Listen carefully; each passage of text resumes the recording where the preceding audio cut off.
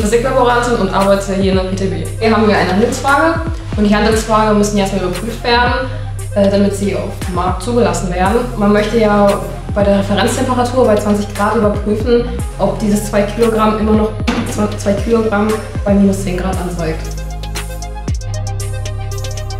Ich bin Amrei Weimann, ich bin 22 Jahre alt und bin Physiklaborantin im dritten Lehrjahr. Mein Name ist Ferris Fromme, ich bin auch Physiklaborant, auch im dritten Lehrjahr. Also ich habe mich schon immer für Technik und Naturwissenschaften interessiert und habe mich deshalb für den Beruf Physiklaborant entschieden.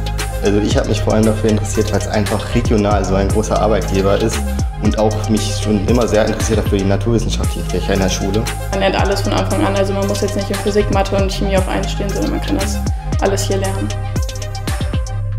Also man sollte ein bisschen perfektionistisch veranlagt sein. Also es ist ziemlich wichtig, dass man alles gut ähm, notiert und schöne Auswertungen schreibt und Diagramme macht. Man sollte daran auch ein bisschen Spaß haben und ja, Teamarbeit ist super wichtig. Naja, wir sind das Nationale Metrologieinstitut von Deutschland, das heißt, es ist quasi unsere Hoheitsaufgabe, genau zu arbeiten. Ich würde auch auf jeden Fall wieder hier diese Ausbildung anfangen. Vor allem dieses breit gefächerte, dass man wirklich in alle Bereiche danach auch gehen kann und nicht spezialisiert ist nur auf einen Bereich. Finde ich hier sehr gut.